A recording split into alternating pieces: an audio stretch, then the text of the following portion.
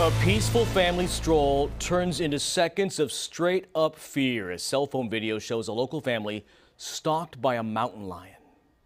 Cyclists held up their bikes, started pumping them into the air and throwing rocks, and we were yelling. That yelling did nothing as the big cat continued to prowl. Only on CBS 13, Ryan Hill with the family's frantic move that left a sheriff's deputy no other choice to end this scary stare down. Probably a good thing I passed you, and I did. Oh my God, are you kidding me? We would have been no match for him.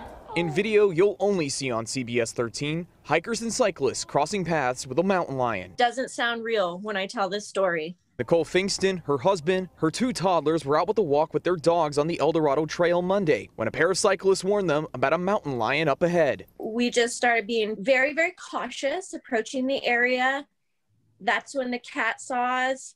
Nicole and her husband tried to scare the animal, but it kept inching closer to them, stalking their every move for roughly 10 minutes. It was pretty scary. I was mostly trying to keep my three year old in the stroller and just explain to him that we're okay. Don't be scared. Let daddy lead us back. The family frantically called 911 for help. And an El Dorado County Sheriff's deputy answered within minutes. The sheriff's office tells CBS 13 the veteran deputy first yelled at the animal and then fired a warning shot. But the big cat just inched closer, leaving him no choice but to put the animal down. It sounds like mountain lion was ultimately about 10 to 15 yards from him when when the mountain lion was ultimately stopped. So it was moving toward him in a in a rapid manner. It's an unfortunate outcome no one wanted to see happen. But this mother of two just glad help arrived to get them out of a terrifying trek on the trail. Looking back, we should have been a lot more afraid. But at the time, it was just stay calm, retreat, keep distance between us and the cat.